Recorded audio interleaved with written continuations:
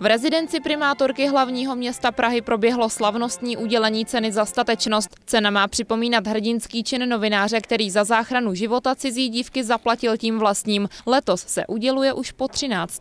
Dnes získávají ocenění ti, kteří nasadili často i svůj osobní život pro druhého a to já myslím, že má neocenitelnou váhu a význam.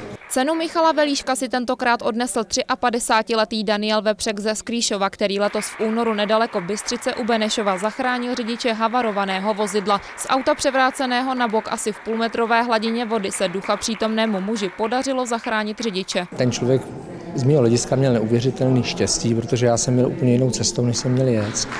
A vlastně jsem to místo i přehlíd, že jsem jenom viděl koleje a říkal jsem si, tady někdo měl nehodu. Ale pak jsem měl pocit, že vidím světlo, zastavil jsem. Je to pro mě čest, samozřejmě to si toho vážím.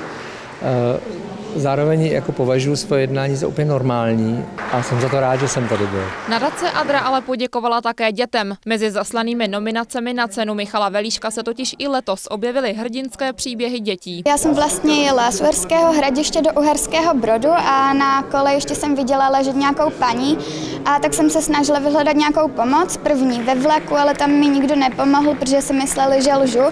A potom i na nádraží a i v té budově, ale tam mi taky nevěřili a prostě se na mě vykašlali a potom už jsem zavolala policii. To vedlejší a přitom pro nás hodně hlavní je to, že neseme myšlenku, že dáváme lidem možnost o tom diskutovat, nabízíme jim témata a do škol na zpátek vracíme příběhy dětí, kteří se statečně zachovali, aby učitelé s těmito příběhy mohli dál pracovat. Nového držitele ceny Michala Velíška volí každoročně veřejnost prostřednictvím online hlasování. Tím prvním se stal v roce 2006 Aleš Babinsky za záchranu sanitářky před několika útočníky. Kristýna Svobodová, Televize Praha.